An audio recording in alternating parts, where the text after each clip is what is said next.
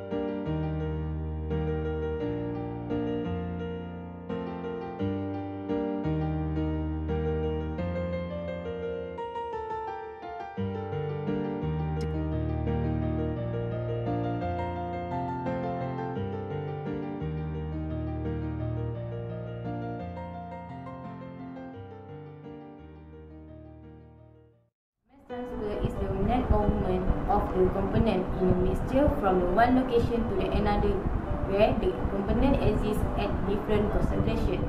Always, the transfer is observed from the high concentration to low concentration region. This phenomenon is called diffusion. Open opening a bottle of soda, carbon dioxide that forms the bubbly effects begin to disperse into the surrounding air. It occurs because of there is a pressure gradient. The diffusion will take place until it reaches equilibrium, where the flat surface can be seen at the end of the observation. Why this topic is related to our course? There are three facts that I want to say. The first one is the diffusion that occurs obeys the mass, the concept of mass transfer, which is the particles move from the high concentration to low concentration. The second fact is in the mass transfer topic, it is stated that the gas particles move randomly, which makes the diffusions more efficient. So, from the observation, the carbon dioxide particles in the soda diffuse into the air only takes a few seconds.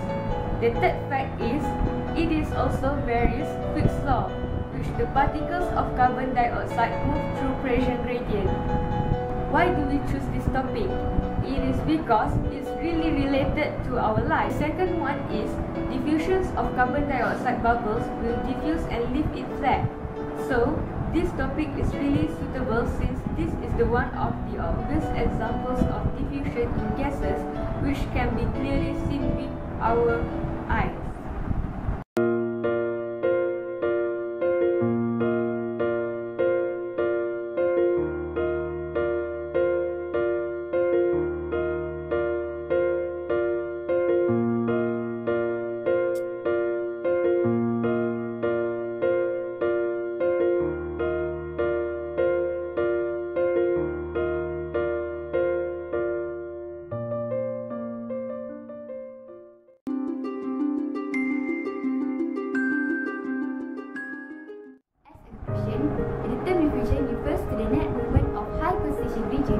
The low concentration region.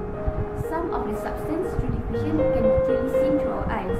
The topic that we choose, which is diffusion in soda bottles, can be clearly seen through our eyes.